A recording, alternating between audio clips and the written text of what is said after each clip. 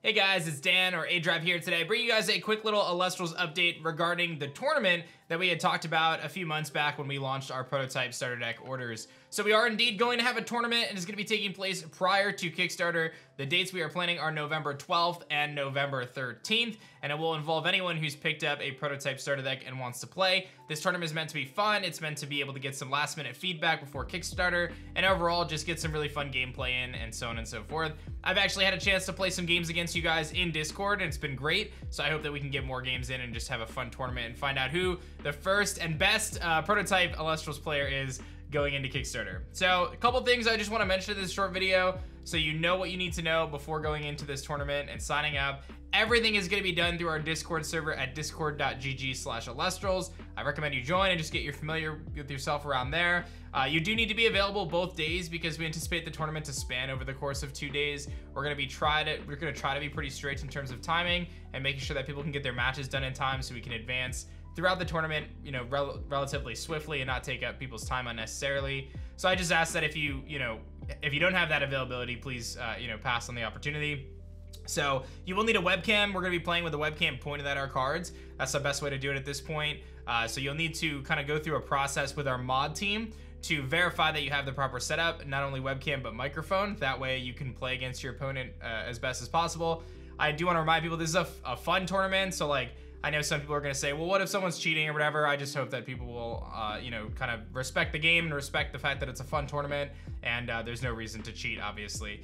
Um, so we're going to try to uh, not limit the slots uh, as best as we can. We'll have to see what the interest level is. I think about uh, about 1,600 people out there have starter decks, so obviously that could create a very, very big tournament, but we'll have to wait and see kind of what the inflow is. Uh, I hope not to limit it too much and hopefully everyone will be able to get in who wants to play.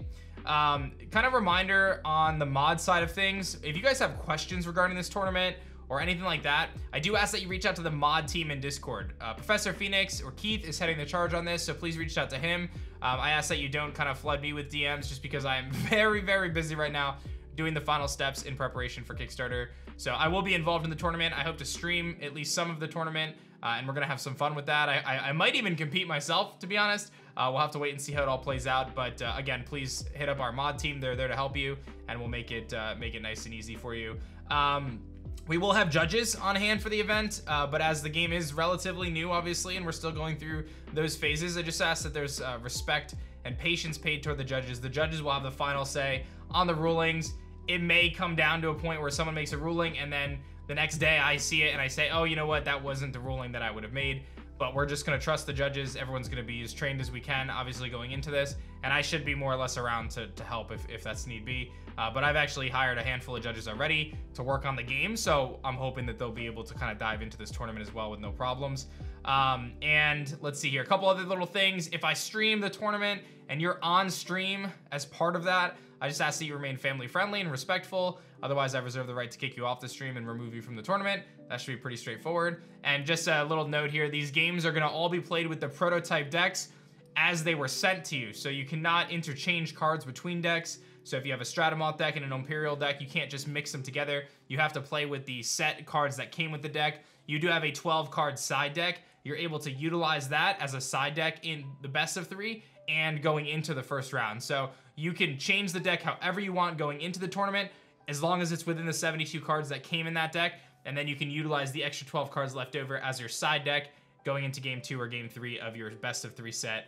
Uh, but with that being said, we may actually make this a best of one tournament. So the same thing applies. You can customize your deck within the 72 cards. If we get so many people entering, then we'll probably just make it best of one for ease of use there.